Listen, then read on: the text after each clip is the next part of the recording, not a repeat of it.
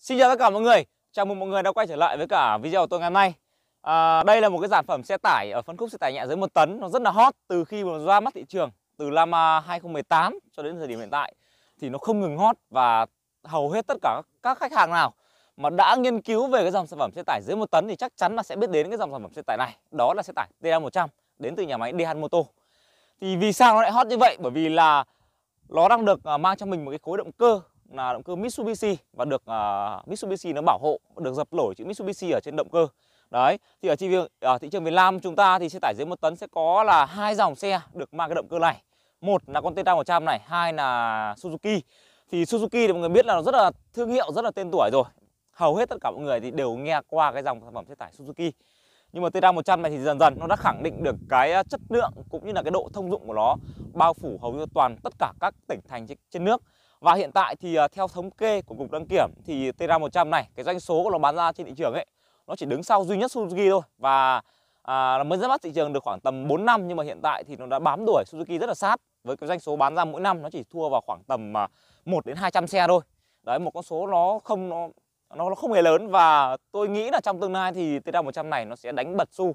Nó sẽ là một chiếc xe đứng đầu trên à, thị trường xe tải nhẹ dưới một tấn và hôm nay thì tôi sẽ làm một cái video không phải là giới thiệu đâu đâu mà là làm một cái video giới thiệu chủ yếu về cái phần thùng của con này. Thì ngoài cái động cơ chất lượng giá ấy, thì TR100 này nó còn được à, mọi người biết đến với sự đa dạng về màu sắc với có ba màu cơ bản trắng này, xanh dương này và xanh rêu. Thì mọi người có thể là phù hợp hơn cho mọi người lựa chọn về nó phù hợp với cả cái à, mệnh của một, của từng khách hàng.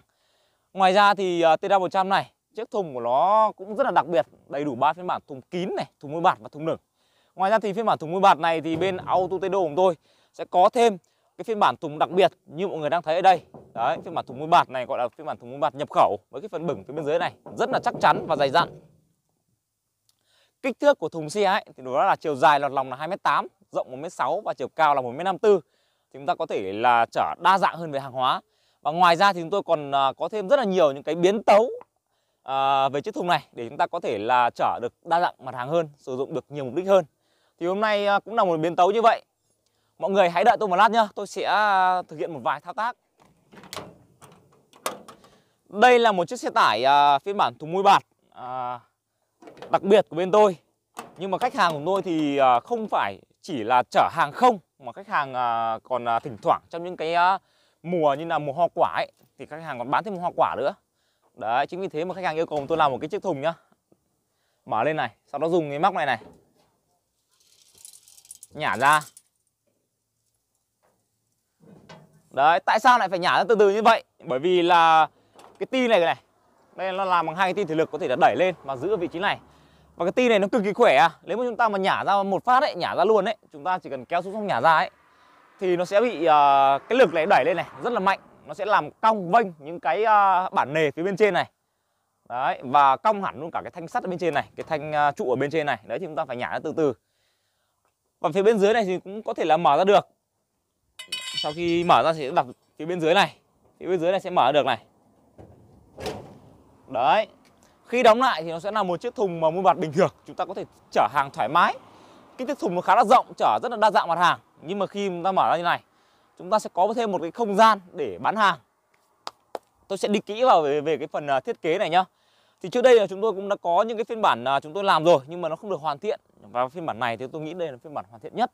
Mọi người nhìn nhá, những cái à, phần trụ này này, tôi đã được bo thêm bằng à, toàn bộ là inox rồi. Thứ nhất là để bảo vệ chống ăn mòn, thứ hai là tăng được cái độ thẩm mỹ của xe. Đấy, còn đây này, cái móc xích này mọi người nhìn nhá. Mọi người nhìn đâu mà làm một chiếc thùng mà được trang bị một chiếc xích to như này không? Lấy đâu ra? Không có đâu.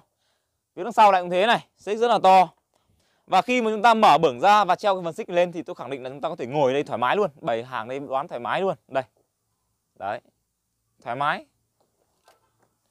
Còn à, phía bên trên này thì được trang bị tận là một hai ba bốn cái bản nề thì có thể là làm tăng được cái tuổi thọ mà khi chúng ta mở ra mở vào. Lâu ngày nếu mà ít bản nề quá thì chắc chắn nó sẽ không chịu được.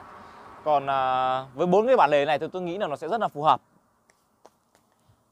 mọi người nhìn cách thiết kế nhá thì bên tôi thiết kế tận là hai tinh thể lực. Cũng có những phiên bản à, các bên khác người ta cũng làm ra nhưng mà ở bên Auto Tedo của tôi sẽ thiết kế là hai tinh thể lực đẩy hai bên như này. Thì thứ nhất là nó sẽ rất là cân nó đẩy đều lực nó không bị gọi là vênh thùng. Còn khi mà chúng ta chỉ sử dụng một cái ti thủy lực thôi nhá thì khi mà chúng ta đẩy lên ấy nó sẽ bị cái lực nó sẽ bị lệch. Rất dẫn đến là cái à, phần à, vách này nó sẽ hay bị lệch. Đấy còn à, một vấn đề nữa mà khi chúng ta dùng những cái phiên bản thùng như này, mọi người rất là hay hỏi tôi, đó là còn về đăng kiểm làm như nào. Thì mọi người hãy nhìn tôi nhá. Về đăng kiểm thì khi mà chúng ta đi đăng kiểm ấy, chúng ta kéo thùng xuống, đóng thùng lại.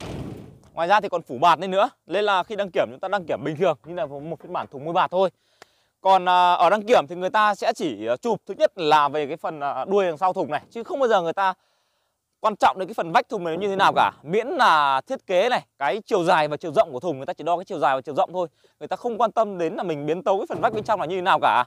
Đấy, người ta chỉ cần chuẩn kích thước, chiều dài, chiều rộng và chiều cao. Thế là đăng kiểm ok thôi. Còn khi mà chụp ảnh lên ấy thì chúng tôi sẽ là phủ mũi bạt lên cho mọi người rồi. Để mọi người yên tâm. Không ngại về vấn đề đăng kiểm, nó nhận đăng kiểm bình thường, như một chiếc xe mũi bạt bình thường thôi đấy và khi mà chúng ta thiết kế lên một cái phiên bản xe như này thì uh, chúng ta có thể là sử dụng được đa năng hơn sử dụng được nhiều công việc hơn. Ngoài công việc là chở hàng này thì chúng ta có thể là trong những cái vụ mùa chúng ta có thể là bán hàng di động đấy. Và một cái điều đặc biệt thì uh, mọi người chắc chắn là sẽ quan tâm đến phần giá cả của con này hiện tại nó là như thế nào đúng không? Thì hiện tại nếu mà để uh, mua được chiếc xe này thì chúng ta phải, phải bỏ ra số tiền nó rơi vào khoảng tầm 245 triệu. Thì chúng ta có thể là sử, uh, mua được xe rồi đấy chỉ 245 triệu thôi mọi người mà cần tôi tư vấn gì thêm về xe cũng như là về cách thiết kế thùng thì mọi người là hãy nhắc ngoài lên và liên hệ với tôi. Thông qua số hotline tôi đặt dưới góc màn hình. Xin chào và hẹn gặp lại mọi người ở những video tiếp theo.